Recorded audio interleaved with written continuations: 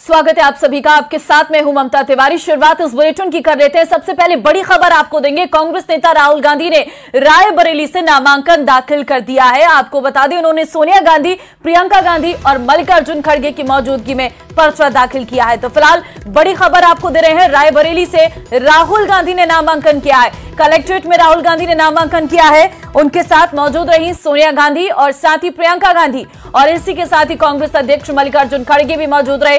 तस्वीरें इस वक्त हम आपको दिखा रहे हैं। अमेठी को अलविदा कहकर रायबरेली में एंट्री कर दिया राहुल गांधी ने। और यहाँ से आज नॉमिनेशन फ़ाइल कर दिया। आज आखिरी दिन है तीसरे चरण के चुनाव के नॉमिनेशन को लेकर। और ऐसे में राहुल गांधी पहुँचे और उन्होंने यहाँ पर अपना नॉमिनेशन फ़ाइल कर दिया है। राहुल गांधी के साथ सोनिया गांधी उनकी उनके साथ मौजूद रहे उनकी बहन प्रियंका गांधी और साथ ही साथ कांग्रेस अध्यक्ष मल्लिकार्जुन खड़गे भी मौजूद रहे। रॉबर्ट वाड्रा भी इस दौरान वहाँ पर मौजूद रहे। तो आपको बता दें कि आज नॉमिनेशन फ़ाइल कर दिया है राहुल गांधी ने। अमेठी से पर्चा नहीं भरा और इस बार रायबरेली में एंट्री मार दी है राहुल गांधी ने। तो आपको जानकारी दे रहे हैं कि अमेठी कांग्रेस की परंपरागत सीट रही है। यहाँ से अभी तक सोनिया गांधी ने चुनाव लड़ा। इससे पहले अगर हम बात करें तो गांधी परिवार से और नेहरू परिवार से रायबरेली से चुनाव लड़ते आए हैं। और ये कहीं ना कहीं कांग्रेस का गढ़ है। पिछले लोकसभा चुनाव को भी अगर हम देखें, मोदी लहर के बावजूद भी रायबरेली ऐसी सीट थी जहाँ पर कांग्रेस ने जीत हासिल की थी। सोनिया गांधी ने वहाँ पर जीत हासिल की थी, लेकिन इस बार स्वास्थ्य का हवाला देकर उन्होंने चुनाव लड़ने से इनकार कर दिया। और अब वो राज्यसभा में सांसद हैं। तो फ़िलहाल यहाँ पर मुकाबला दिलचस्प रहने वाला है राहुल गांधी वर्सेस दिनेश प्रताप सिंह के बीच। ये मुकाबला रहने वाला है। नॉमिनेशन आज फ़ाइल कर दिया है। और आपको जानकारी दे दें कि इस दौरान सोनिया गांधी मौजूद रही प्रियंका गांधी मौजूद रही, रॉबर्ट वाड्रा मौजूद रहे, साथ ही मल्लिकार्जुन खड़गे, पूर्व सीएम अशोक गहलोत भी वहाँ पर मौजूद रहे। तो अमेठी को अलविदा कह दिया है।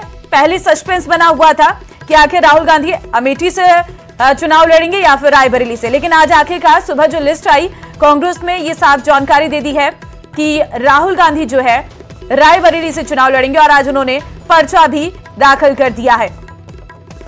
तो आपको बता दें कि आगामी लोकसभा चुनाव के लिए रायबरेली से नामांकन दाखिल कर दिया है। उनके साथ माँ सोनिया गांधी, बहन प्रियंका गांधी वाड्रा और उनके जीजा रॉबर्ट वाड्रा के साथ ही पार्टी के अध्यक्ष मल्लिकार्जुन खड़गे भी नज़र आए। आपको बता दें कि ज़िले के पार्टी कार्यालय से वो रवाना हुए थे नामांकन करने के लिए। और दिग्गज नेता थे, पार्टी कार्यालय पर ज़बरदस्त भीड़ भी देखने को मिली थी। और राहुल को कार्यालय से अपनी गाड़ी बाहर निकालने में भी काफ़ी मशक्कत का सामना करना पड़ा था। कार्यकर्ताओं में साफ़ तौर से उत्साह था, नारे लगाते हुए नज़र आ रहे थे। और क्योंकि ये इंतज़ार था कि आखिर रायबरेली से कौन चुनाव लड़ेगा तो ऐसे में आज उसका भी फैसला हो गया। उत्तर प्रदेश की जिन सीटों की सबसे ज़्यादा चर्चा होती है, उनमें से एक रायबरेली लोकसभा सीट भी है।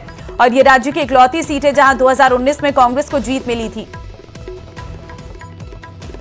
यूपी के सियासी रण में आज कई वीवीआईपी ने नामांकन किए हैं और रायबरेली से जहाँ कांग्रेस प्रत्याशी राहुल गांधी, रायबरेली से बीजेपी प्रत्याशी दिनेश प्रताप सिंह, अमेठी से कांग्रेस प्रत्याशी किशोरी लाल शर्मा और केसरगंज से बीजेपी प्रत्याशी करण सिंह करण भूषण सिंह ने भी आज नामांकन फ़ाइल किया है। तो हम तस्वीरें भी इस वक्त आपको दिखा रहे हैं देख सकते हैं।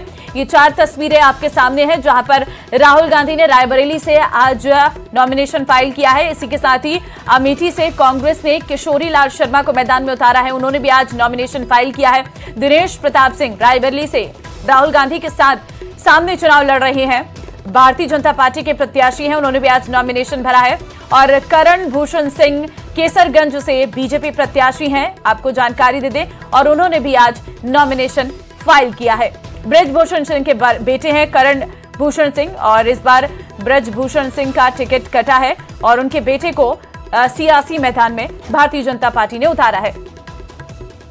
पश्चिम बंगाल के वर्धमान में पीएम मोदी ने राहुल गांधी पर बड़ा हमला किया है। उन्होंने कहा कि राहुल गांधी अमेठी